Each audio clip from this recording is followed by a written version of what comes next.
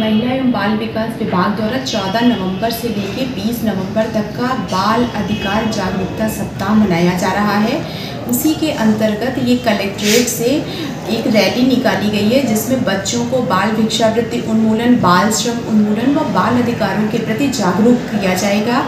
बच्चों के जो मौलिक अधिकार हैं, उनके प्रति बच्चों उस समाज में जागरूकता फैलाई जाएगी। जैसे कि बच्चों का विकास का अधिकार है, सुरक्षा का अधिकार है, शिक्षा का अधिकार है, सहभागिता का अधिकार है। ऐसे मौलिक बच्चों के जो मूल अधिकार है, उनके प्रति जागरूक करने के लिए ये रैली आज निकाली गई।